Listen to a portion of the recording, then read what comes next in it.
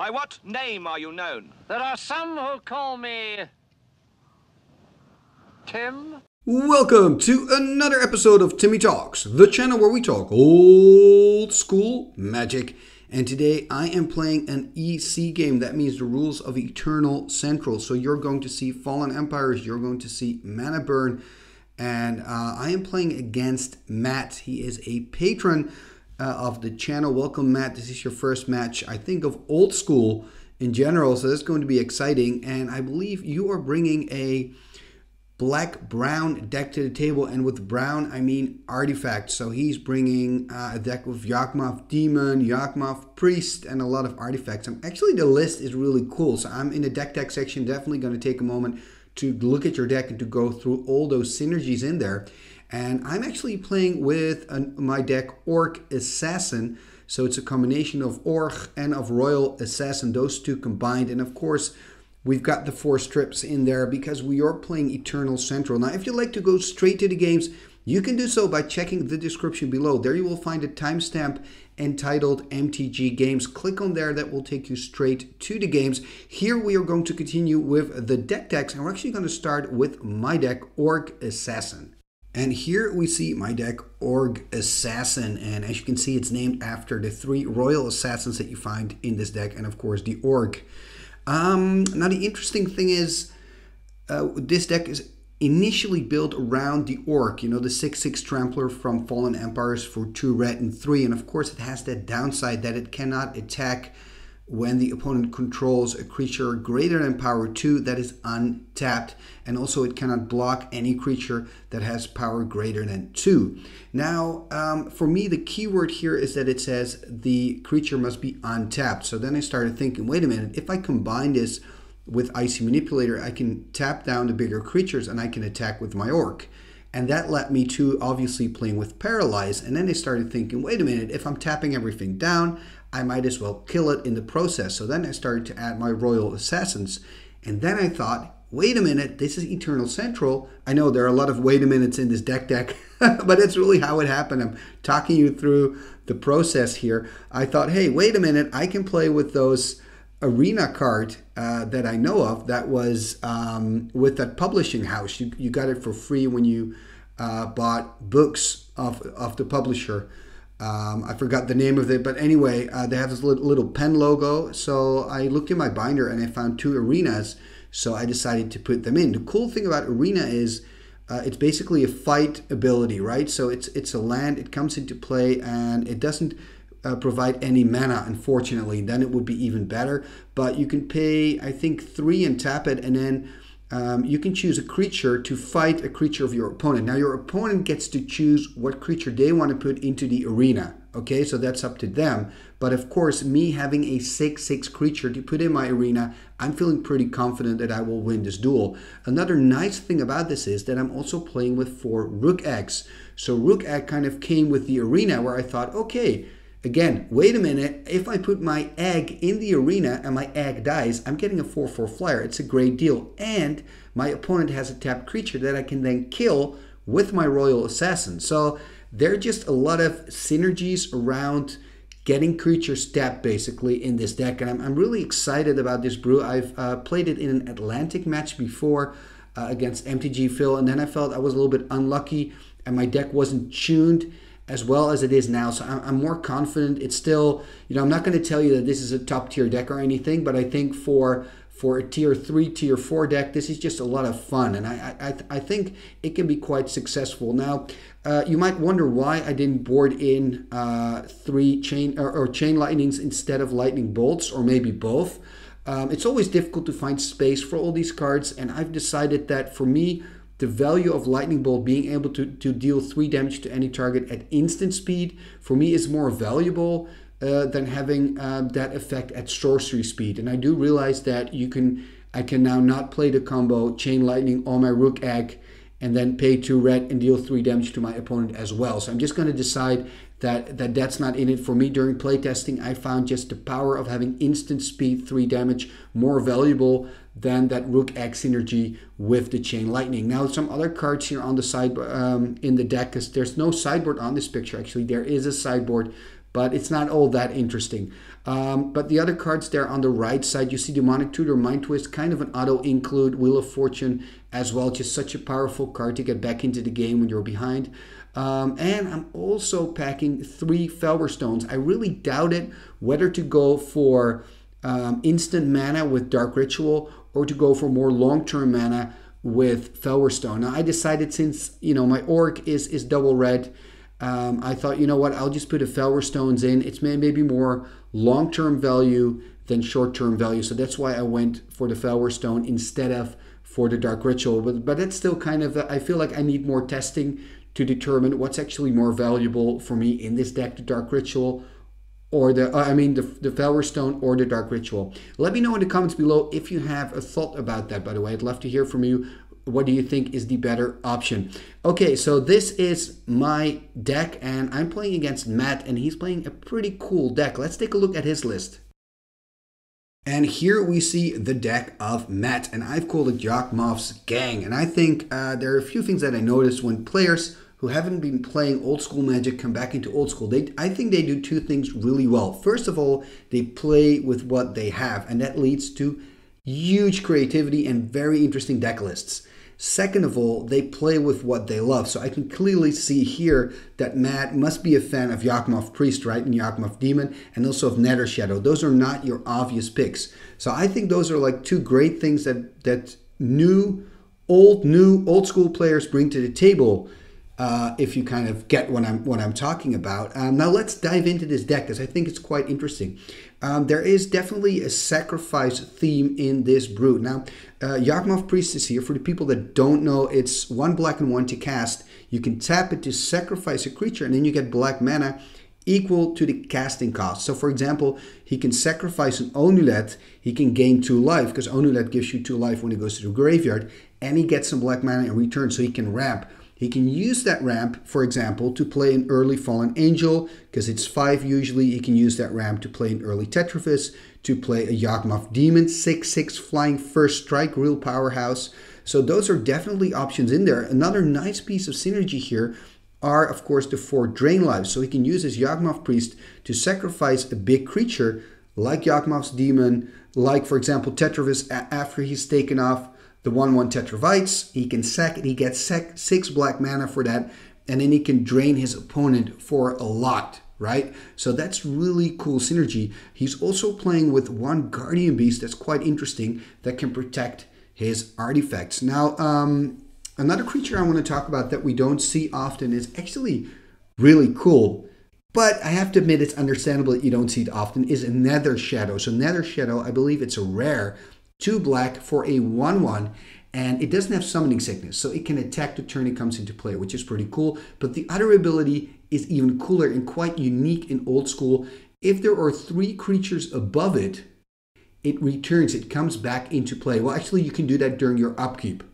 So that's pretty cool right? Especially in like a sacrifice heavy deck. So if you kind of stack everything the right way then maybe you get your nether shadow back the next turn and you can sacrifice it again um, I think what I would try to put in this deck, but of course I'm not sure if Matt, if you have those cards, I think I would look into Mana Vault. Perhaps change those two Dark Rituals for two Mana Vault, see if you can get four Mana Vaults in total. The reason I'm saying that is because of Yawgmoth Demon. Yawgmoth Demon is a 6-6 flying first strike, which is fantastic. I think it's two black and four to cast.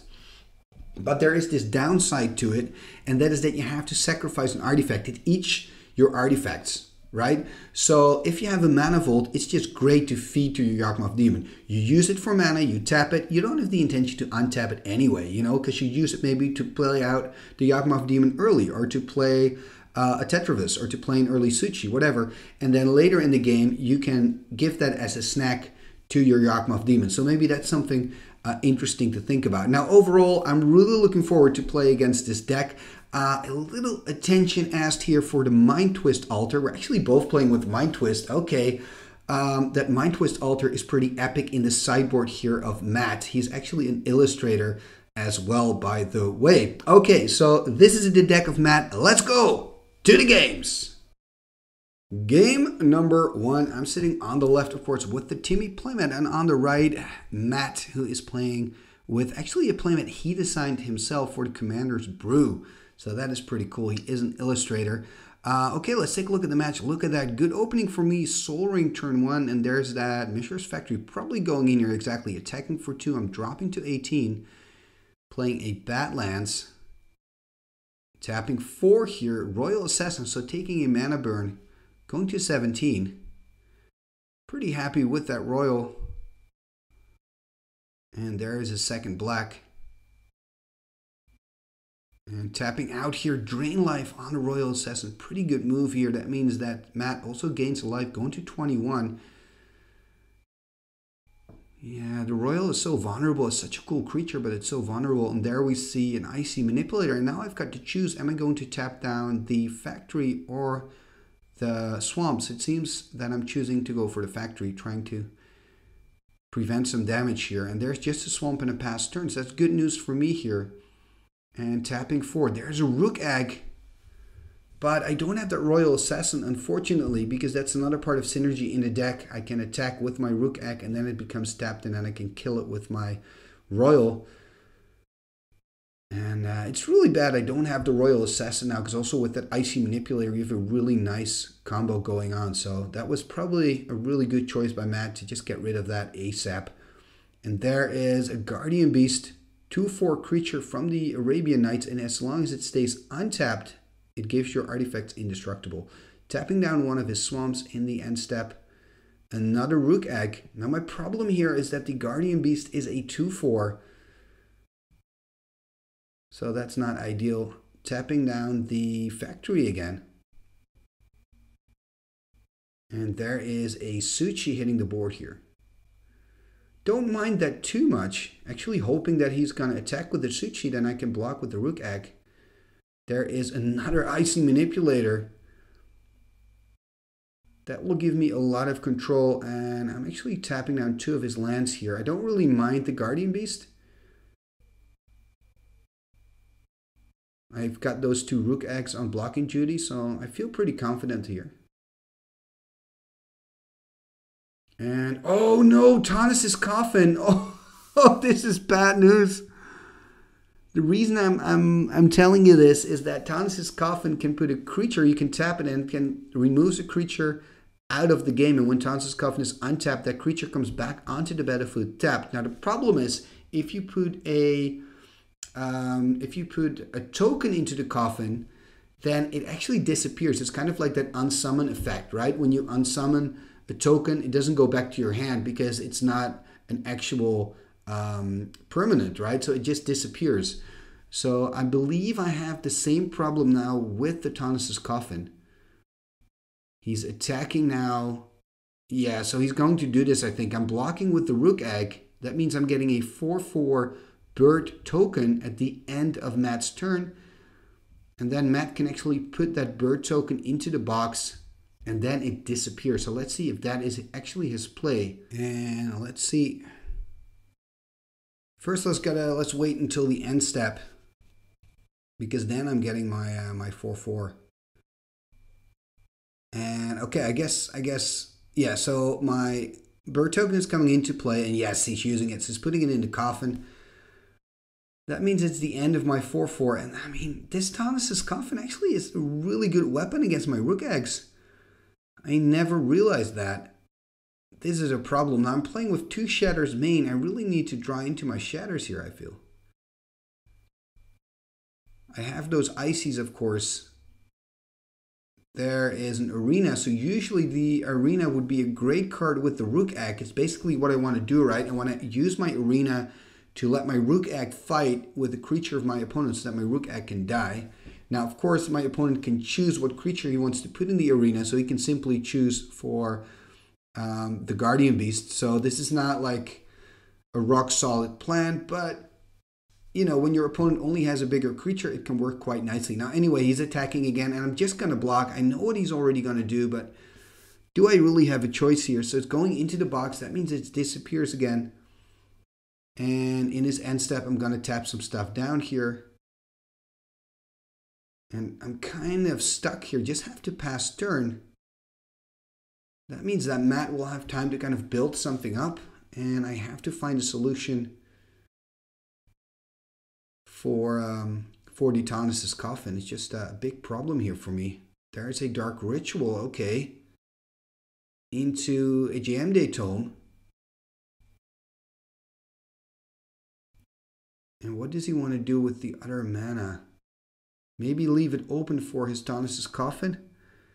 And of course I'm going to tap down his creatures before combat so I take no damage. I mean, I'm still on 17. I have all the time. I have to pass here, just drawing one turn. But I'm not really happy with seeing that Jayemdae Tome because that's going to give Matt card advantage. And he's actually pretty much in the driver's seat at the moment. So again, I'm tapping down his creatures. Um, he played at Strip Mine. There is another Su-Chi.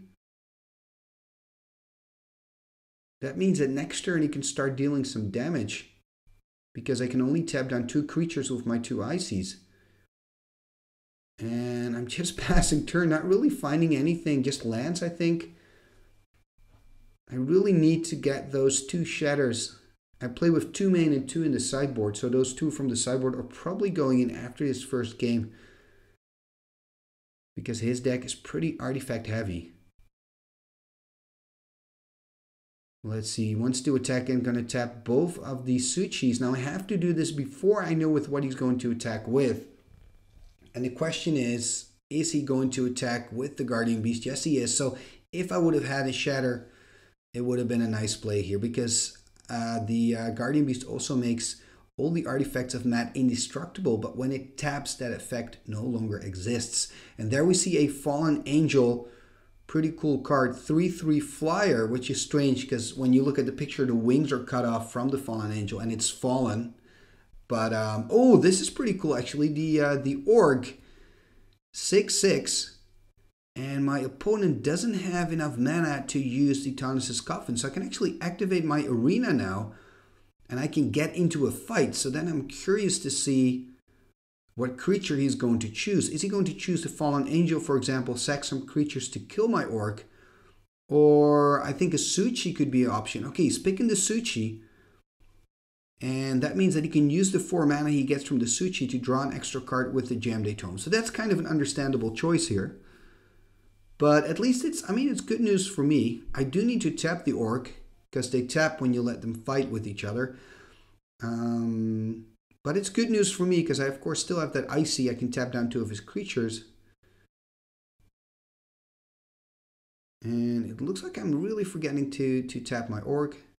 Because that does have an effect. Because with the Orgg, I can actually tap the Guardian Beast if he chooses, or uh, block the Guardian Beast if he chooses to attack with that. So I should really tap the Orgg down here.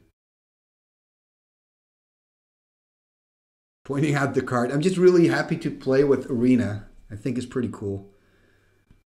And just putting my Orgg in the arena, it's something I really wanted to do here. Okay, there we go, finally. Finally, I noticed that I actually have to tap it down. And he's now going to attack, so he wants to declare his combat, and in response, I'm probably going to tap down both of these creatures. Or am I not? Am I going? Yeah, I'm going to tap them down. And then he's going to swing in with his Guardian Beast. And okay, it seems we're it seems we're not quite clear what I want to tab down. Sorry, Matt. I was kind of uh I wasn't very clear with that. I'm sorry. Oh, this is cool. Yawgmoth Demon. Sweet. Antiquities Powerhouse. Flying in first strike destroying my city of brass here with the strip mine. And this is an interesting choice actually from my opponent because he has to feed the Yawgmoth demon artifacts. And uh, I'm not sure if that's really what he wants to do looking uh, looking at, his, at his artifacts. You don't want to lose a Su-Chi, a Jayemdae Tome, or that Tawnos's Coffin. So quite an interesting choice here. Now, the problem for me is the Yawgmoth Demon is a 6-6 first strike. So if I activate Arena to put my Orgg uh, into the arena, then my opponent is simply going to choose for the Yawgmoth Demon and my Orgg is going to die. And look at that, another Icy Manipulator for me. So all three Icy Manipulators of my deck are now on the board and this means really bad news for uh, for my opponent Matt here because he has a Yawgmoth demon that wants to eat artifacts, and I can simply tap all his creatures down. Let's see what's going to happen here. First, he needs to decide what is he going to feed to the demon. And he's feeding him the book. Wow, interesting choice. The book is such a valuable resource. I wonder what his plan is with the Yawgmoth demon. Maybe he's got a priest in hand as well and he wants to sack it or something? Because now I'm going to tap all his big threats down. And remember, I can actually block that Guardian Beast. Okay, he's going to put the Orgg into the box. So Orgg is out of the picture here and he's going to attack now. That means I'm dropping down to 13. And there's the Yawgmoth Priest. And then next turn, I think he can do it in a way that he can first sack, if he wants to sack his Yawgmoth Priest, or Yawgmoth Demon to the Priest so that he doesn't have to pay the tax, the upkeep cost. Not a 100% sure about that, by the way, so let me know in the comments below. And, oh, actually, he cannot use the Yawgmoth Priest because it only works on artifacts. Okay, so, silly, sorry, I apologize. So Yawgmoth Priest is a 1-2 from the Antiquities expansion. You can tap it to sack an artifact, and then you get black mana equal to the casting cost. So for example, if he sacks the Su-Chi, he will get 4 black mana, and he will actually get the 4 colorless as well from the Su-Chi, because Su-Chi gives you 4 colorless when it goes to the graveyard. So that's 8 mana, so that's a big chunk of mana. But first he will have to decide what he's going to sack, sack to the Yawgmoth Demon. I just really feel I understand, Matt, that Yawgmoth Demon is a cool creature, but I mean, I, I feel that that card kind of set you back instead of uh, brought you forward, you know, gave you anything. And look at that, he's sacking the Yawgmoth Demon to the Fallen Angel. So that means Fallen Angel gets, I believe, plus two, plus one, so it turns into a 5 4. I think that's a good decision. So he can actually, oh no, I still have those ices. So I'm just going to tap everything down. And look at that. He's going to sack the Su-Chi to the priest, getting four black, four colorless. And does he have enough? Five, six, seven, eight, nine, ten. And I'm going to drop to three here, and my opponent's going to gain 10 life. really nice, Matt, to see the synergy going. And of course, you're going to get mana burn. So three mana burn from the Su-Chi because he only spent one mana from the colorless that he got from the Su-Chi. So three mana burn. So he gains seven life in total. I'm on three here. And things are looking pretty bad for me. Also, he still has his Tawnos's Coffin. And look at that. I'm actually deciding to shoot down the priest because I want to protect myself from a drain life. But look at his mana. One drain life is enough. He doesn't really need the mana from the Yawgmoth Priest. And there it is. There is the drain life. Well done, Matt. Well done. You got this first game in the bag. And please take into consideration that Matt hasn't played um, old school. Actually, this is his first old school game um, in kind of this new era of old school that we're in. So please take that into account. And uh, wow, nice, man. Your first game and you win it. Congratulations on that one. We're going to go and dive into our sideboards and uh, we'll catch back up to you in game number two. Okay, here we go. Game number two. So after losing that first game, at least I'm on to play. There we see uh, my opponent Matt here shuffling up still, drawing his starting seven. I believe I'm actually going to keep. Oh, he's taking a mulligan. Okay, that explains. So he's going down to six. At least he's on the draw. And again, a Sol Ring. Wow. So I had a first turn Sol Ring in game one, now in game number two as well. So very lucky here. There is a swamp and a pass turn. Can I find a red source maybe? Play out a Rukh egg, for example. Let's see what I can do here.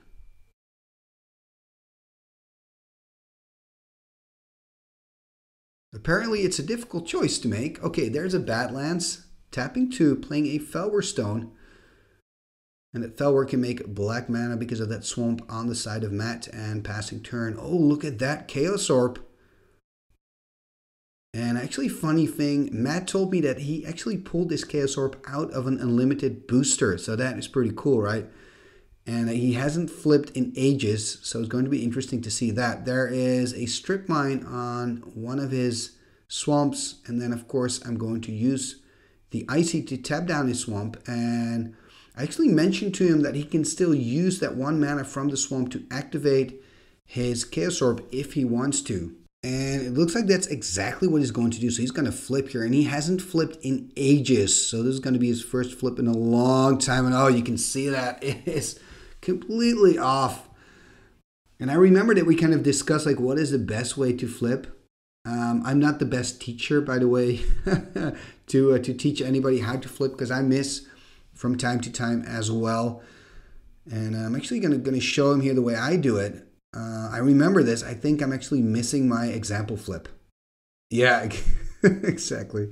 Anyway, uh, we're continuing with the actual game. Game number two. When the dust has settled, Matt has lost his Chaos Orb, and I still have my Icy. So that's going to give me a huge advantage.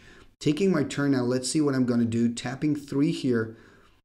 And look at that, casting a Royal Assassin. And I've got a pretty deadly combo on the battlefield. I can tap his creatures down if he has any. Doesn't have any at the moment with my Icy Manipulator. And then use my Royal Assassin to kill them. There we see a first uh, creature, Yawgmoth Priest deciding not to tap it down with my Sol Ring. Maybe I don't want to take the damage from the mana burn, playing a Rukh Egg and still keeping the Yawgmoth Demon alive. Interesting here. And will we see another Drain Life perhaps? And end of turn, I'm going to tap my own Rukh Egg, kill it with Royal Assassin, and get a 4 4 Flying Bird token.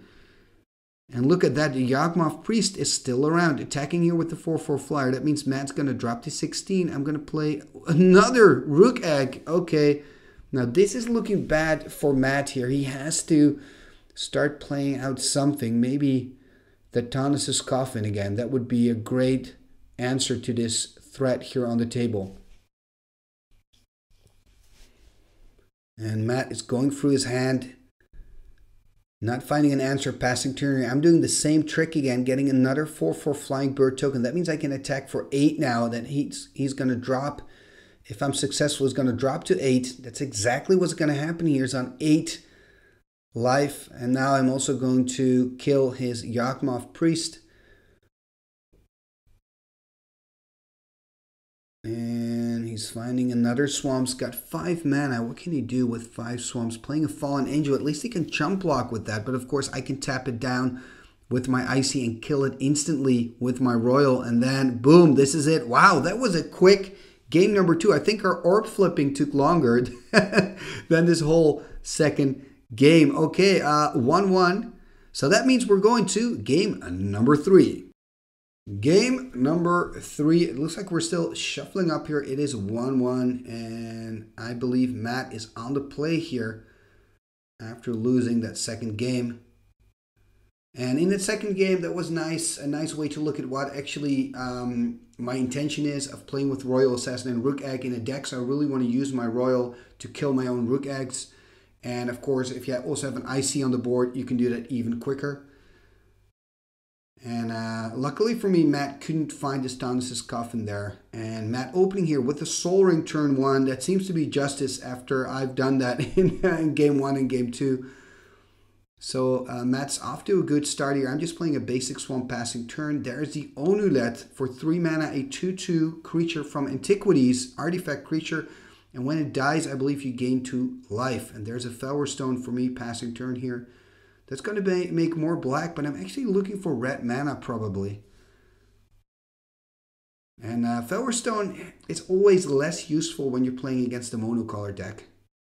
Still ramp, but I wish it could make red mana as well. Attacking it with the Onulet, by the way, I'm dropping to 18. There's Yawgmoth's Priest.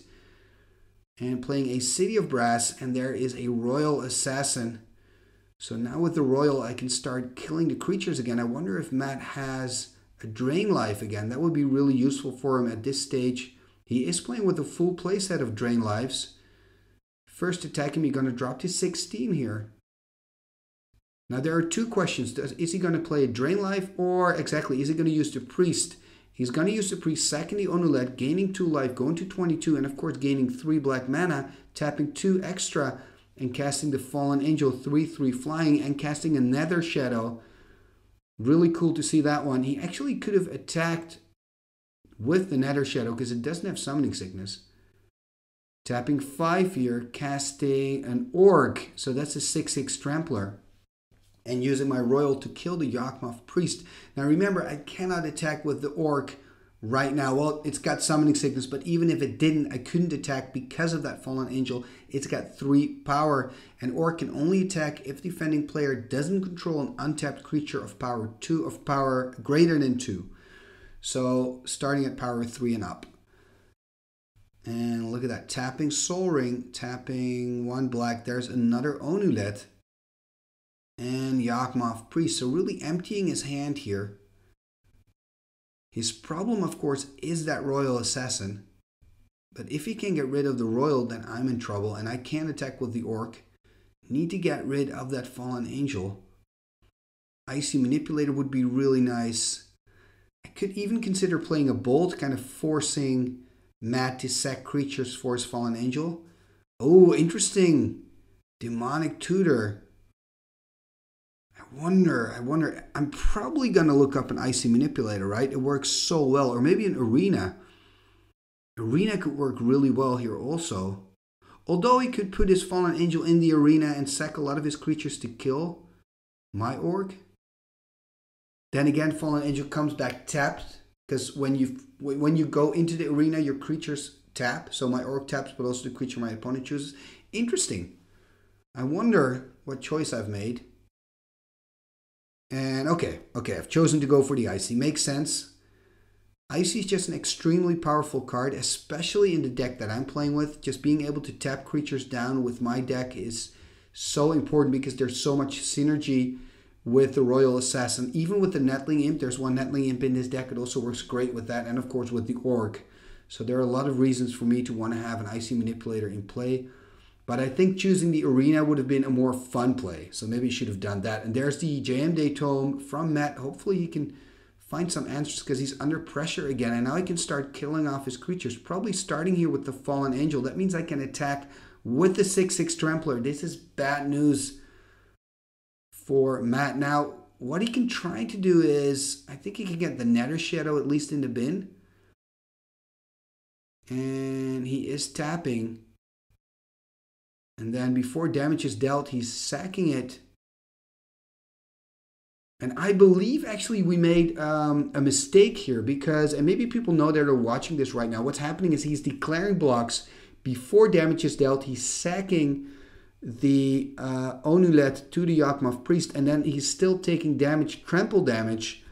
And I'm not sure if that's correct. So please let me know in the comments below what should have happened in this scenario. Maybe he shouldn't have taken any damage from the Orgg that turn and just go up to life for the onulet.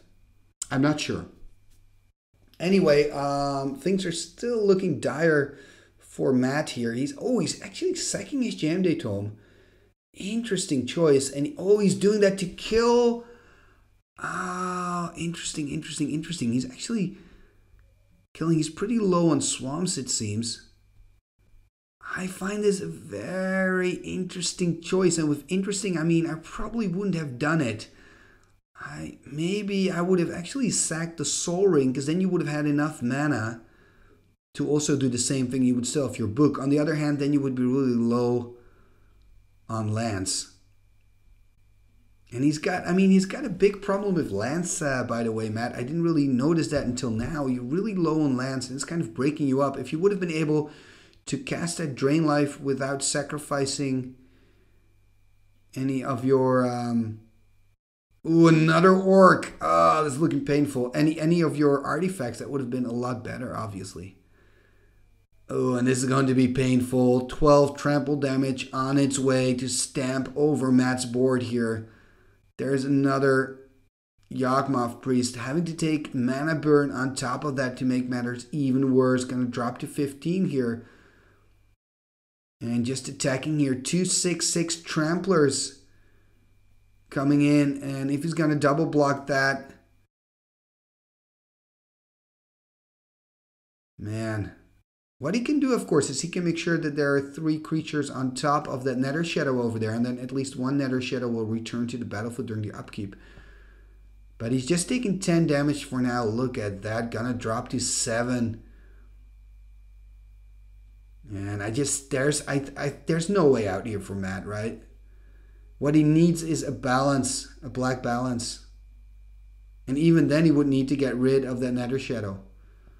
And yeah, that's it. That's it. Showing what he has. And um, I'm sorry, Matt, for completely trampling over you in that game number three. But I want to thank you for these games. It was a lot of fun to play against you.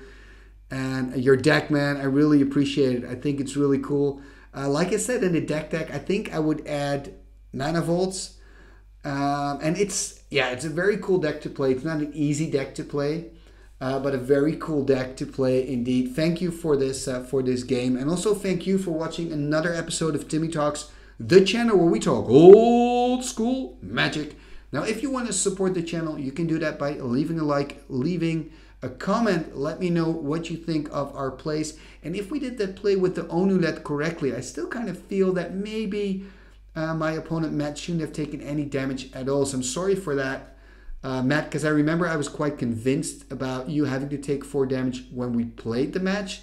But now that I think about it, I'm not quite sure. So uh, if you know this, let me know in the comments below. Another thing you can do to help the channel, you can become a subscriber. So if you're not a sub yet, uh, please consider becoming one because it really helps the YouTube channel grow.